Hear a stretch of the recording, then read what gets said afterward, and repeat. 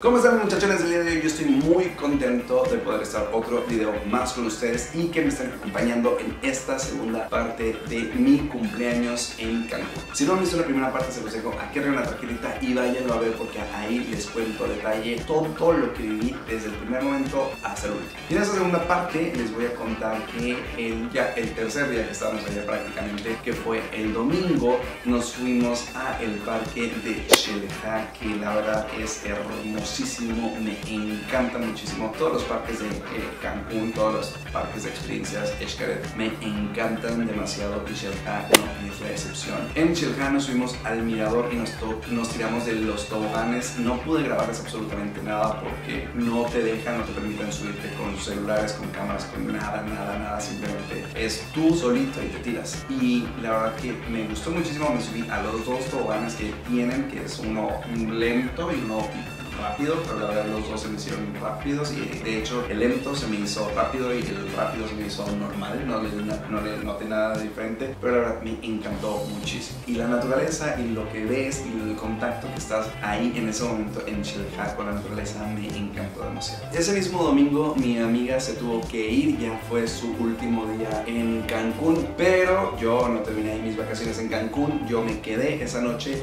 y esa misma noche también me cambié de Airbnb ya no estaba en el mismo y me fui a otro yo solo. El domingo por la noche me quedé dormido, descansé, porque yo siempre he dicho que después de las vacaciones necesitan unas vacaciones porque terminas completamente cansado, donde no descansas de tus vacaciones porque te la pasas siempre levantándote temprano, durmiendo de tarde y eso fue lo que había pasado con nosotros, nos levantamos muy temprano y nos dormíamos muy tarde, entonces no teníamos mucho tiempo para descansar. Y ese mismo domingo que se fue mi amiga, me fui a la tienda, me compré mis papas, mis refrescos y todo y me puse a ver Netflix en el Airbnb. Ya el lunes era mi primer día solo, sí me sentía un poco triste porque estaba acostumbrado a estar con mi amiga, pero en esta ocasión ese día ya era el último en algún parque y fue en Senses. Senses la verdad me encantó, me sorprendió muchísimo también. Es un parque completamente diferente a los otros, porque los otros son como muchísimo de naturaleza, pero este también tiene ciertos toques de naturaleza, pero es muchísimo más enfocado hacia ti como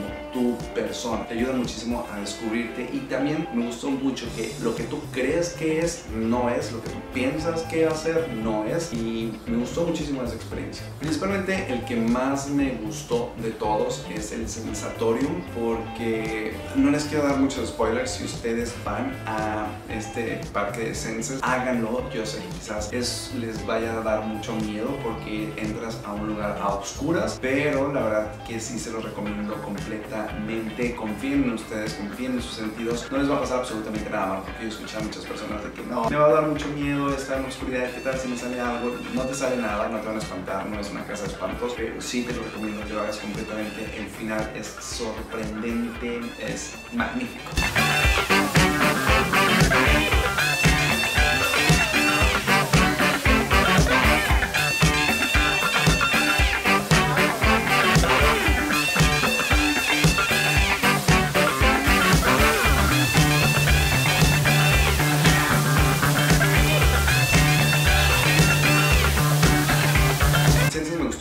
Muchísimo en todos y cada uno de los sentidos, literal, tanto olfativos como vista. Sí. Si la vida te da limones, pues haz limonada vengo saliendo del sensatorium y vine a recoger mis zapatos y en lo que vine yo agarré estos pensando que eran los míos porque los míos son exactamente igual a estos pero estos no me quedaron porque son más chicos. Entonces dije yo creo que no son estos pero o sea me quedaron pero muy apretados y los míos no me quedan muy apretados. Son mis zapatos. Y estos son los que me estaba poniendo si se dan cuenta son iguales, iguales, iguales. Algo que me gustó muchísimo es como el pueblo que lo hacen ver hacia arriba, pero en realidad vas bajando. Pero... Ustedes ven esto y piensan que voy de subida, pero en realidad voy de bajada. Vean el agua, baja, cuando en realidad parece que sube. No sé cómo explicar esto. Pero la verdad es muy, muy padre y el mismo te va llevando hacia abajo y es un poco mareado esto también, tienes que agarrar porque si no sientes que te lleva como si fuese una corriente hacia arriba, como si todo te jalara hacia abajo. No puedo explicar cómo es que bajas cuando parece que subes. Esta es la casa de Roberto Gómez Bolaño, supuestamente Chespirito, el Chapo del Ocho. Vean, aquí está su sombrerito y todo. Yo quiero saber si eso es un albur o que las tardes del piano, las tardes doy clase piano y las noches doy violín. Eso en México se interpretaría como un albur.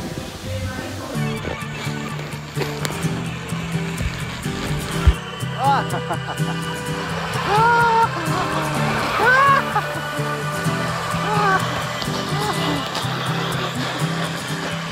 el martes era momento de despedirme de Cancún oficialmente. Ya era mi último día de mis vacaciones en Cancún y era momento de irme a esas vacaciones que necesitaba después de mis vacaciones. Necesitaba irme a un lugar donde yo pudiera relajarme, donde yo pudiera dormir hasta que yo quisiera, donde no hubiera horario, actividades programadas, donde yo pudiera hacer lo que quisiera. Y así que decidí irme a Mérida, porque en Mérida tengo algunos amigos y decidí quedarme con ellos. Pues ya me voy de Playa del Carmen, unas muy buenas vacaciones, muy buen festejo de cumpleaños y la verdad me encantó, me encantó demasiado.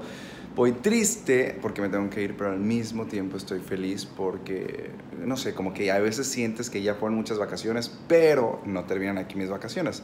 Me voy a ir a Mérida unos días para como ya relajarme. Aquí fue como toda adrenalina, todo arriba, todo así, y ahorita... eh, ya estoy agarrando mis maletas para irme a Mérida.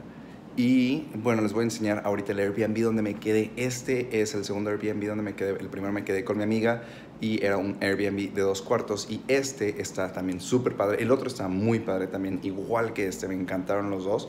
Y este eh, es solamente una habitación, pero se los voy a enseñar. Esta es la parte de la cocina y está muy padre la cocina. Tiene estos tres bancos en la barra tiene esos sillones, la decoración me encantó demasiado, creo que es muchísimo mi estilo. Es sencilla, pero tiene ciertos toques de color, por ejemplo, pues este azul, el tapete, eh, estos colores me gustan mucho y este como pop de color que tiene aquí me gustó muchísimo también. De este lado está el baño y el baño está grande, está medianamente grande, o está bien, está grande, está bien. Y este es el cuarto que me encantó también. La cama, es una cama king size.